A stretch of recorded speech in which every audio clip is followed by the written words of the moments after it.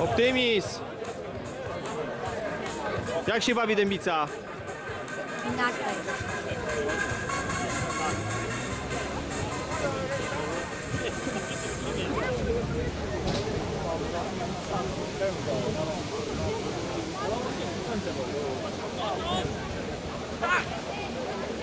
I wystartowali zawodnicy Zespół Szkół Ostrów Lubelski na torze pierwszym, na torze drugim. OSP Dębica.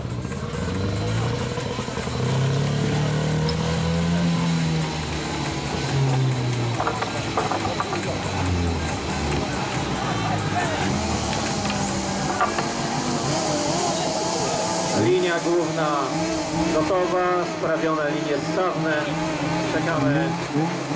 Woda już napełnia czerwoną linii głównej, poszła też na torze drugim.